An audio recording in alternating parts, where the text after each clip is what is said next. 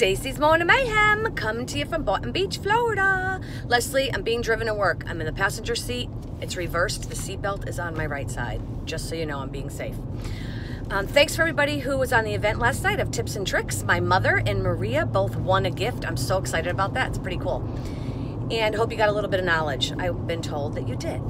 The question that I have for this morning is about the Active Hydration Body Replenish and the Sunless Tanner. In which order do you apply it? So I actually was using it this week because my legs are white and I needed it for a dress. I think I said that earlier. Oh, by the way, what day is it? Friday? Isn't it supposed to be Saturday? Anyways, let's back up a minute. So I get out of the shower, I towel dry, and I put on the silk in a jar. Yes, people, silk in a jar the Active Hydration Body Replenish. Let it soak into my skin, I'll let it dry, and then I put on my Sunless Tanner. One coat, let it dry, two coat, let it dry. However many coats you want to put in and how dark you want it. So I hope that helped. If you have any other questions, you know where to reach me. Peace out.